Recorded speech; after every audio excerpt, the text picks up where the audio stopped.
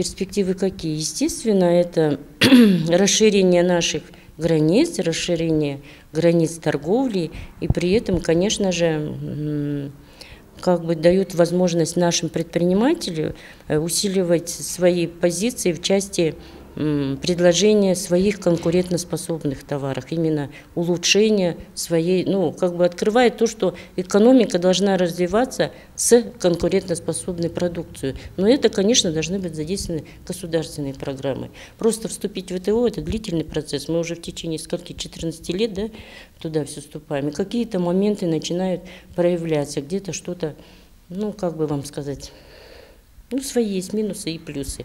Но, в принципе, отношение к вступлению в ВТО, э, в ВТО, Казахстана в ВТО, это, мне кажется, положительный момент для Казахстана, хотя много есть таких мнений, что такой необходимости нет. Мы не можем существовать отдельно от всего мира.